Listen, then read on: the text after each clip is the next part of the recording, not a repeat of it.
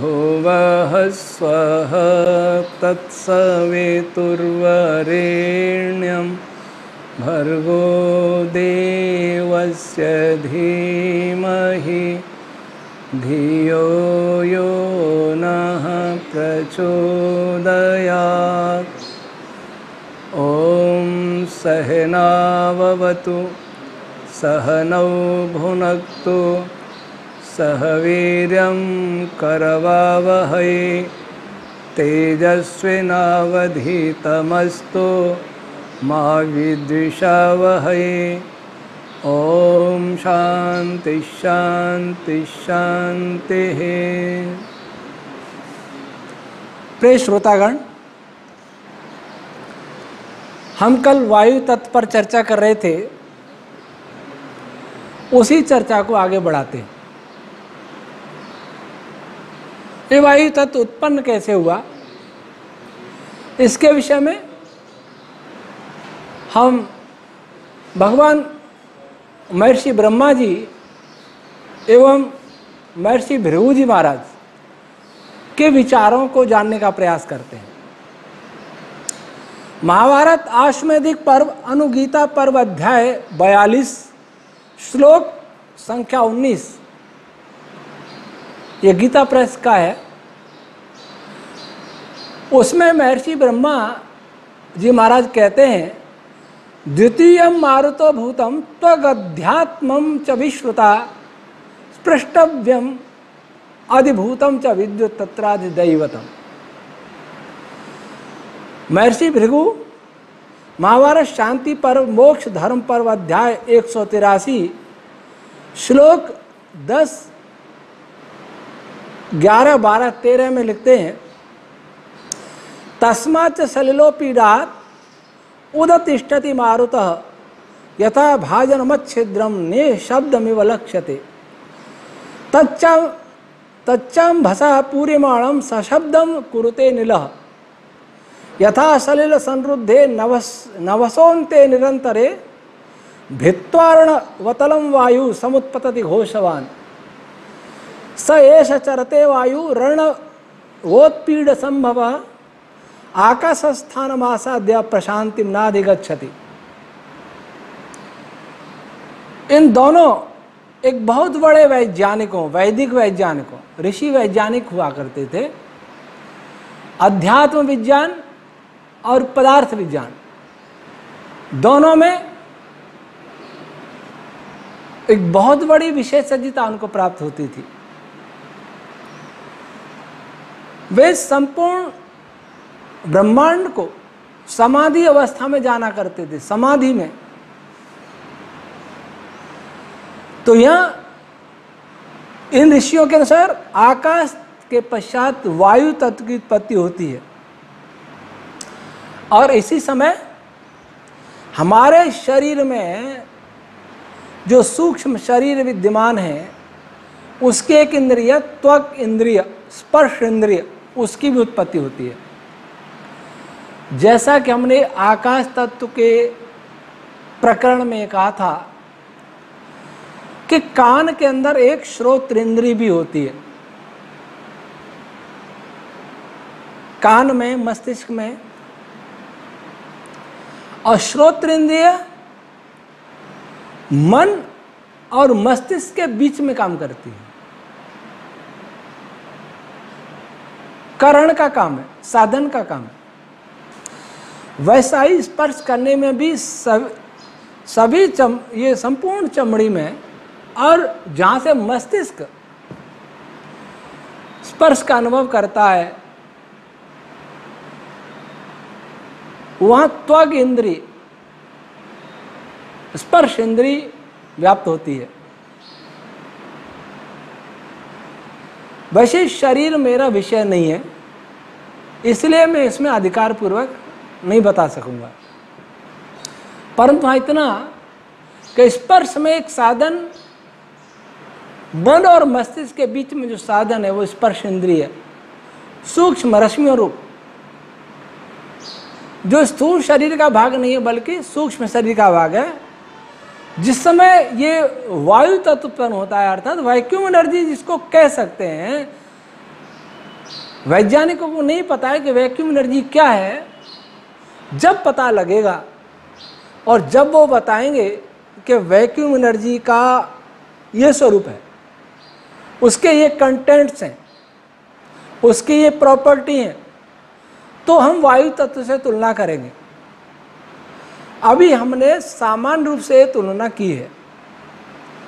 Vacuum energy का ये अर्थ करके कि संपूर्ण वैक्यूम को अर्थात स्पेस को भरे हुए है, वो ये वायु है। और जिसको डार्क एनर्जी कहते हैं, जो डार्क एनर्जी गैलेक्सियों को दूर दूर भगा रही है, ब्रह्मांड को फैला रही, विस्फोट किया, वह तो कोई डार्क एनर्जी नहीं है ब्रह्मांड में, न ऐसा कभी होता है। लेकिन एक ऐसी एनर्जी अवश्य है, जिसको हमने इस ग्रंथ में वैदिक डार्क एनर्जी का असुर पदार्थ, वैदिक भाषा में असुर ऊर्जा, वह भी वायु का ही भाग है, वह भी वायु तत्व का ही अंग है। तो स्पर्श इंद्रिय उत्पन्न होती है, उसी समय अधिभूत में का विद्युत तत्रादि दैवतम। अर्थात जो फ़ील्ड रश्मियाँ होती हैं, वे उसी समय उत्पन्न होती वह भी वायु का ही रूप है। अथवा कहें कि उस वायु से उत्पन्न है। वायु कैसे बनती है? आकाश तत्व के संपीडन से। जब आकाश सूक्ष्म रश्मियों को संपीडित करता है कंप्रेस करता है तो फिर वायु तत्व उत्पन्न होता है, बड़ी रश्मियाँ उत्पन्न होती हैं। बड़ी रश्मियों का मिश्रण उत्पन्न होता है। अब यह वायु तत्व महर्षि भृगु जी महाराज की दृष्टि में उठता हुआ सा उत्पन्न हुआ। इसको वो समझा रहे हैं, जैसे कोई पानी का घड़ा खाली है, पानी नहीं है, उसमें पानी डालेंगे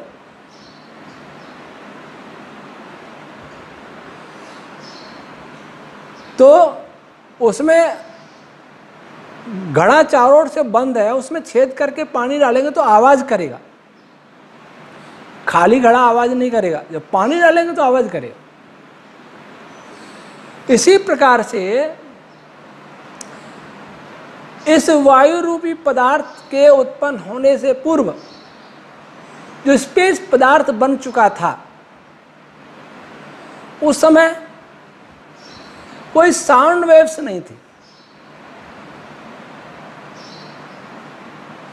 पश्चंती अवस्था में थी चंद्र रश्मियाँ लेकिन वैखरी मध्यमा नहीं थी। लेकिन वायु तत्पन्न हुआ तो वह घोष के साथ, ध्वनि के साथ, साउंड वेव को उत्पन्न करता हुआ उत्पन्न होता है, ऐसा महर्षि भृगु जी का कहना है।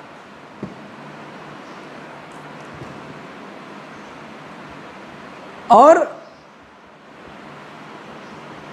इससे ऐसा लगता है कि यह वायु तत्व भी सब जगह एक साथ एक रस उत्पन्न नहीं हुआ था। जैसे हमने कहा था कि स्पेस भी एक साथ सब जगह उत्पन्न नहीं होता है, वैसे वायु तत्व भी। अर्थात संपूर्ण आकाश में भरी हुई एक सूक्ष्म ऊर्जा, वह एक साथ उत्पन्न नहीं होती। एक साथ उत्पन्न होगी तो शब्द नहीं उत्पन्न होगा, घोष नहीं उत्पन्न होंगे। स्पेस जैसे उत्पन्न होता है, वैसे वैसे ही वायु उत्पन्न होती है। और उसके पश्चात वो वायु वेग से बहती हुई संपूर्ण स्पेस को व्याप्त कर लेती है। और स्पेस में ध्वनिया उत्पन्न होने लगती हैं, साउंड वेव। साउंड वेव के की भी कई बड़े सूक्ष्म रूप हैं। जॉन ग्रिविन ने अपनी पुस्तकों में डार्क मैटर के पार्टिकल से साउंड वेव का उत्पन्न होना माना है। बैकग्राउंड रेडिएशन में फ्लक्चुएशन भी साउंड वेव के कारण माना है। अर्थात साउंड वेव बहुत सूक्ष्म स्तर तक है। हमारा मत है कि सभी प्रकार के कण, जितने भी एलिमेंट्री पार्टिकल हैं, जितने भी क्वांटाज हैं उन सबसे साउंड वेव उत्पन्न हो रही है, उसे हमारे कान नहीं सुन सकते, कोई बात नहीं। लेकिन साउंड वेव उनमें है। पश्यंती तो है ही, मध्यमा बैखरी भी है। जैसे जैसे ब्रह्मांड में प्राण और छंद रश्मियों की तीव्रता बढ़ती जाती है, वैसे ही ध्वनि तरंगों की तीव्रता भी बढ़ती जाती है। यहाँ आप लोग ये अवश्य ध्यान रखेंगे कि यह वायु एयर नहीं है, बल्कि वैक्यूम एनर्जी से इसकी तुलना अवश्य की जा सकती है। और वह भी जब वैक्यूम एनर्जी का स्वरूप हमारे सामने पूरी तरह आ जाए जब, आज जब फ़ील्ड की बात करते हैं हम किसी फिजिसिस्ट से तो स्पष्ट नहीं हो पाता कि फ़ील्ड है क्या। फ़ील्ड के कारण फोर्स उत्पन्न होता है और फोर्स के कारण फ़ील्ड उत्पन्न होता है। तो कौन पहले है?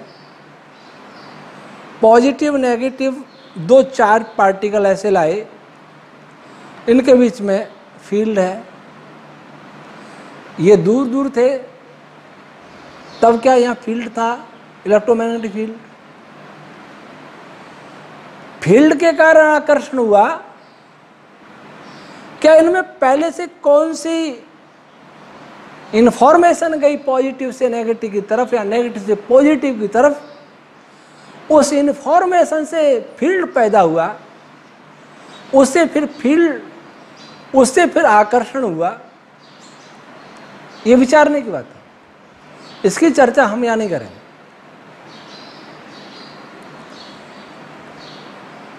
फ़ील्ड से सूक्ष्म कोई पदार्थ होता है, वैक्यूम एनर्जी से सूक्ष्म कोई पदार्थ होता है, इसकी कल्पना वैज्ञानिक नहीं कर सकते। जिस दिन वैज्ञानिकों को छंद और प्राण रश्मियों का ज्ञान होगा, वैदिक फिजिक्स को हमारे विज्ञान वालों को गंभीरता से पढ़ेंगे, है कठिन पढ़ना। संस्कृत भाषा में मूल ग्रंथ है, हिंदी में मैंने लिखा और हिंदी भी इसकी कठिन है। विषय नया है, लेकिन फिर भी बहुत कुछ मिलेगा। तो उन्हें फ़ील्ड के विषय में बहुत सारी जानकारी मिलेगी। अब एक प्रश्न आता है। सत्यार प्रकाश में महर्षि दयानंद जी ने आठवें समोल्लास में लिखा है। सबसे सूक्ष्म टुकड़ा अर्थात जो काटा नहीं जाता, उसका नाम परमाणु। साठ परमाणु से मिले हुए का नाम एक अणु, दो अणु का नाम एक द्वयणुक, जो स्थूल वायु है। अर्थात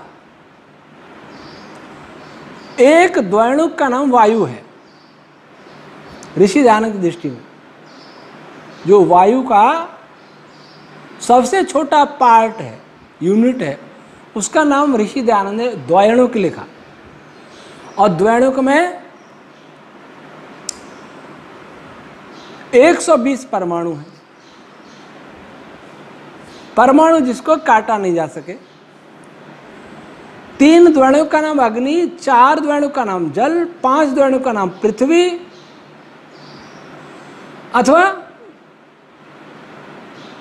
तीन द्वणु का त्रिश्रेणु और उसका दूना, छह द्वणु का पृथ्वी आदि दृश्य पदार्थ होते हैं।